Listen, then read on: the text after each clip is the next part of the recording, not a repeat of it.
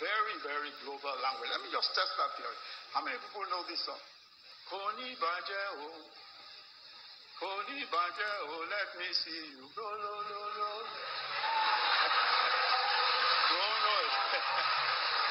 Okay, okay, okay, okay, okay, okay, okay, okay, okay. Okay, let's sing it. So let's sing it together. Koni baje o, Koni baje o, let me see you go lo lo lo. Let me see you No, no, no, no, no, no. Wait a minute. You know the buga has to be a real buga. So let's do that last bit again. Let me see you No, no, lo lo. Okay, that's actually a funny one from our Vice President, Professor Yemi Osinbajo. The Vice President, Professor Yemi Osinbajo, did this at the World Tourism Organization Global Conference in Iganmu, Lagos State.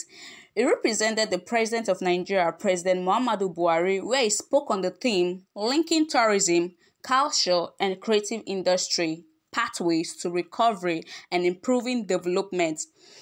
He also recognized other singers like Asake and Burna Boy as he sang their songs Last Last by Burna Boy and Organized by Asake. Remember that Buga is a song that is a song that means showing off one's success. That's after a hard work. That's after stretching yourself and achieving a great feat. You just have to Buga. You just have to show off your success. So this is MipeNews, a channel where you get lots of interesting information. It could be political news, academic news, sport news, economic news, and even world news. Don't forget to subscribe to the channel. Feel very free to like this video and share it on your various social media and do. Thank you so much for coming back and we hope to see you again next time.